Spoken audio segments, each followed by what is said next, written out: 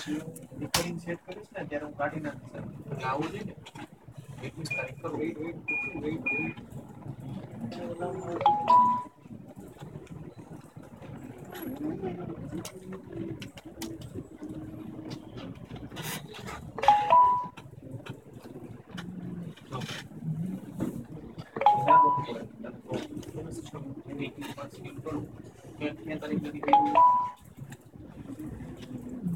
40, bro.